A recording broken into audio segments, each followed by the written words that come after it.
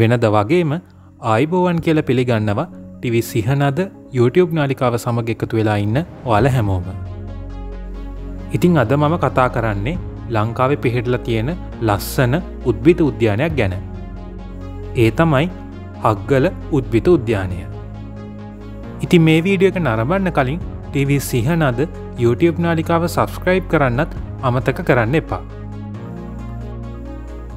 හක්ගල උද්භිත උද්‍යානය කියලා කියන්නේ ශ්‍රී ලංකාවේ නිර්මාණය කර තිබෙන උද්භිත උද්‍යාන පහ අතුරෙන් දෙවනියට විශාලම උද්භිත උද්‍යානය. මෙම උද්භිත උද්‍යානය නුවරේලිය දිස්ත්‍රික්කේ පිහිටල තියෙනවා. අනෙක් උද්භිත උද්‍යාන වන්නේ පේරාධනය උද්භිත උද්‍යානය හෙනරත්ගොඩ උද්භුත උද්‍යානය මිරිජ්ජවිල උද්භිත උද්‍යානය ගනයවත්ත ඖෂධ උද්‍යානය හා සීතාවක උද්භිත උද්‍යානය. උද්‍යානය ආසන්නයෙන්ම හක්ගල දැඩි ස්භාව රක්ෂිතයද පිහිටල තියෙනවා. මෙම උද්භිත උද්‍යානයේ පිහිටීම ගැන කතාකරොත් නුවරේලිය බදුල්ල ප්‍රධාන පාරෙ කිලෝමිට්‍ර දාසයක් පමණ දුරින් මෙම උද්‍යානය පිහිටල තියෙනවා. උද්‍යානය සහිත භූමි ප්‍රදේශය මුහුදු මට්ටමේ සිට අඩි පන්දස් හාරසීයක් පමණ ඉහල්ඉන් පිහිටා තිබීම නිසා සිසිල් දේශගුණයක් සහිත වෙනවා. වාර්ෂික උෂ්ණත්වය සෙල්සිය සංශක දාසයත් තිහත් පමණ අතරාගයකින් විචලනය වෙනවා. දෙසැම්බර් සිට පෙබරවාරි අතර කාලසීමාව සිසිල් දේශගුණයක් සහිත වන අතර අප්‍රේල් හා අගොස්තු අතර කාලසීමාව සාපේක්ෂව උණුසුම් දේශගුණයක් සහිත වනවා. අඩුම වර්ෂාපතනයේ ජනවාර සිට මාර්තු දක්වා වන අතර එය මිලිලීට්‍ර හැත්තෑවේ සිට සීය දක්වා වෙන්න පුළුවන්. වර්ෂාකාලය අප්‍රේල් මාසය අවසන් වන විට පැමිණෙන අතර වැඩිම වර්ෂාපතනය ඔක්තෝබර් සිට දෙසැම්බර් දක්වා ලැබෙනවා. එය මිල්ලිට එකසිය අනුවේ සිට දෙසේ විසිපහක් තරම් ඉහළ වෙනවා. මෙම උද්‍යානයේ ඉතිහාසය ගැන කතාකරොත් එද්දස් අටසිය හැට එකවසරේදී ප්‍රථමයෙන්ම මෙම භූමිය තුළ සින්කෝනා වගා කිරීම අත්හදා බැලූ අතර සින්කෝනා වගා කිරීමට වඩා තේවගා කිරීම සුදුසුවීම නිසා මේ භූමිය තුළ තේවගා කිරීම අත්හදා බලන ලදී. රාජකීය උද්භිත උද්‍යානයේ අධ්‍යක්ෂක ආචාරය පෙයිට්ස් සිංහෝන අත්හදා බලන්න හක්ගල තෝරගෙන තියෙන්නේ එහි සමස්ශ්‍රීතෝෂ්ණ දේශගුණය සිංහෝනා ගසේ නිජබිම වන පීරු රාජ්‍යයේ ඇන්ඩිස් කඳුවැටිය ප්‍රදේශයේ දේශගුණයට බොහෝ සමානුණු නිසා බව සටහන් වෙනවා. සිංකෝනා අත්තීතයේදී විශාල ලෙස වගා කෙරුණු වානිජ භෝගයක් වූ අතර එයින් ලබාගත් ප්‍රධානම ඖෂධය වූයේ මැලේරියාව සඳහා ප්‍රතිකාරයක් ලෙස දෙන වීනින් නම් ඖෂධයයි.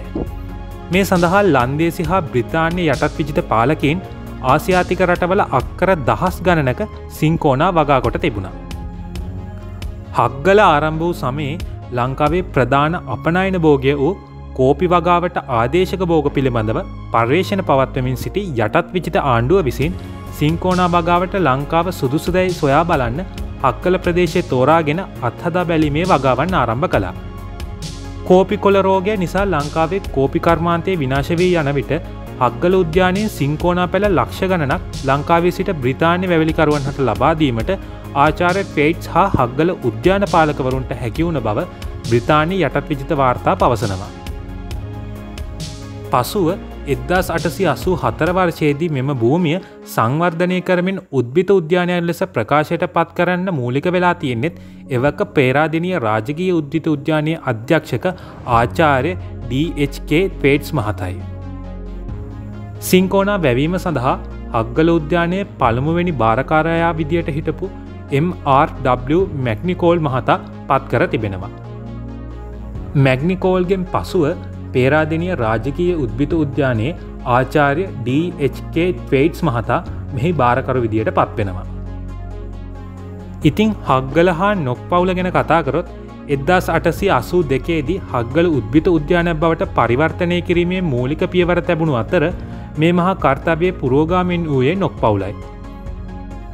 හක්ගල උද්‍යානයක් බවට පරිවර්තනය කිරීම සඳහා එහි පළොම භාරකරු ලෙස පත් කරන ලද්දේ විලියම් නොක් නැමති බ්‍රතාානය ජාතිකයෙක්. ඔහුගේ ඇවෑමෙන් ඔහුගේ පුතුන් දෙදනා වන ජේකේ නොක් හා ජේජේ නොක් හක්ගල භාරකරුවන් ලෙස ක්‍රියා කරා. හක්ගල උද්‍යානය අප අද දකින සුන්දරත්වයට අඩිතාලම දැමුවේ මේ නොක් පවුලේ පියා හා පුතුන් දෙදනයි. හක්ගල උද්භිත උද්‍යානය එද්දා සටසේ අසු දෙකේ සිත එද්දස් නමසය හතලිය දක්වාම නොක් පවුලේ පරම්පරාත් තුනක් වසර පනස් සටක් පාලනය කරමින් එය ඉමහත් දියුණුවට පත් කලා. එද්දා සටසිය අසූ දෙකේදී මුලින්ම බිලියම් නොක්ස් මහතා සිංකෝනා වගාපාලනයට පැමිණි එද්ද සටසිය අසූ දෙක එද්දස් නමසේ තුන උද්‍යාන අධිකාරිවරයා ලෙසට කටයුතු කර උද්‍යානයේ අද ඇති සුන්දරත්වයට අඩිතාලම දැමුව. එද්දස් නමසේ තුනේදී ඔහු විශ්‍රාම ගනු ලැබුවේ සිය පුතු වූ ජේකේ නොක් වෙත එම කටයුතු භාර කරමි. ජේකේ නොක් එදස් නමසය තුනේ සිට එදස් නමසය නමය දක්වා වසර හයක් මේ වනේ භාරකරු ලෙස ක්‍රියාකොට නත්තල් නිවාඩුව සඳහා බ්‍රිතාන්්‍යට යන අතරතුරේදී නෞකාව මුහුදුපත්වී මියගේ එදස් නමසය නමේ දෙසැම්බර් දහතුන්ගෙනනිදා. වසර හයක් සේවය කරමින් බොහෝ දෙනාගේ ගෞරවයට පාට වූ ජේකේ නොග්ගේ කනගාටුදායක මරණයෙන් ශෝකයට පත් හක්ගල ඔහු සමඟ සේවය කළ ඔහුගේ සහෝදර සේවකයින් ජේකෙන් නොක් සිහිවීමට මෙන්ම ඔහුගේ පියාද හක්ගල උද්‍යානයට කළ සේවේ සිහිකරමින් නොක්නාමය හත්ගල උද්‍යානය සදාකල් නොනැසී පවත්වාගෙන යාම සඳහා කුඩා ග්‍රීෂ්ම නිවහනක් සිහිවටනයක් ලෙස නිර්මාණය කළා. අදටත් මේ නොක් අනුස්මරණ ග්‍රීෂ්ම නිවහන හක්ගලුවනේදී ඔබට දැක බලාගන්න පුළුවන්. ඉන් පසු ඔහුගේ සොයුරු ජේජේ නොක් මෙහි උද්‍යාන පාලක තනතුර භාරගත් බව පැවසෙනවා. ජේජේ නොක් එදස් නමසය නමේ සිට එදස් නමසය හතලිය දක්වා වසර තිස් එකක කාලයක් හක්ගල රමණී වෙනක් බවට පරිවර්තනය කරන්නට කැපවුණ. සුදු ජාතික යටත් විජිත පාලක පැලැන්තිී වුවත් නොක් පවුල වෙන්නවුන් මේ රටට කළ සේවය අමත්තක නොකළ යුතුයි.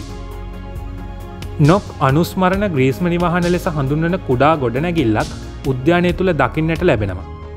මේ ග්‍රීෂ්ම නිවාහන තනාති වෙන්නේ උස්භූමිය සිට බැලූවිට නමුණුකුල කඳු පන්තියද ඊට එපිටින් ඌව ද්‍රෝණියද දකුණු පසින් හපුතලේ කපොල්ලද වම් පසින් මඩොල්සිම කඳුවැටියද දැක බලාගන්න පුළුවන් ආකාරයටයි.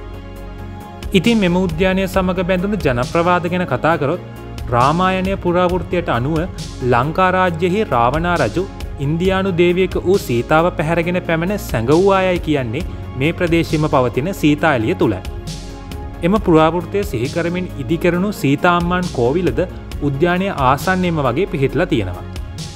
තවත් අප්‍රකට ජනප්‍රවාදයකට අනුව රාවනා රජු දක්ෂ වෛද්‍යවරයකු ලෙසටද ප්‍රසිද්ධ වී සිටි බැවින් රාජගීය ඔසුවෙන හක්ගල පිහිටා තිබුණා. රාමා සීතා කතාපුවත්වල සඳහන් වන අන්දමට සීතාදේවිය ඌව පරණගම ලුණුවත්තේ ස්ත්‍රීපුර ගල්ලනය සඟවා සිටියදී වැඩිකාලයක් ගත කිරීමට සිදුව තිබුණේ ගණදුර මධ්‍යයලු. ඒ නිසාමදෝ සීතාදේවයට ආලෝකය ලැබීම මදිවීමෙන් ඇස් රෝගයක් සෑදී තිබෙන බවත් සඳහන් වෙනවා. ඒ නිසා සීතාදේවිය රහසිගතවම මෙම හක්ගල ඔසුවනේ ස්ථානයක සඟවාගෙන එම ඇස්රෝගයට ප්‍රතිකාර කර තිබෙනවා. එම ඇස්රෝගේ සුවවී සීතාදේවයට යළි පෙනීම ලබාදු නිස්ථානය සීතා එලිය නම් වුණාලු.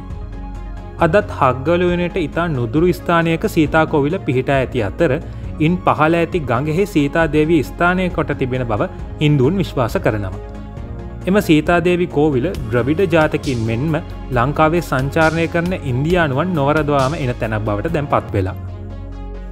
මෙහි සංචාරකාකර්ශණය ගැන කතාකරොත් විවිධ ශාක විශේෂ දහදාහකට අධික ප්‍රමාණයක් මෙම උද්‍යානය තුළ රෝපණය කොට තිබෙන අතර උද්‍යානය නැරමීම සඳහා වාර්ෂිකව ලක්ෂ පහක පමණ දෙස් විදෙස් සංචාරකෙන් පිරිසක් පැමිණෙනවා.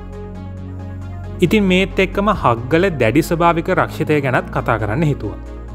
සත්ව සහ ශාක විශේෂයන් අවම බලපෑමක් යටතේ බෝවීම මගින් එම විශේෂිතයන් මිහිපිටින් බඳවීයාම වැලැක්වීම සඳහා ස්භාවික පරිසරයක් සපයන විද්‍යාත්මක පර්ේෂණ සඳහා යෝග්‍ය පහසුකම් ඇති භූමි දැඩි ස්භාවික රක්ෂිත ලෙස ප්‍රකාශකොට ආරක්ෂා කරනවා.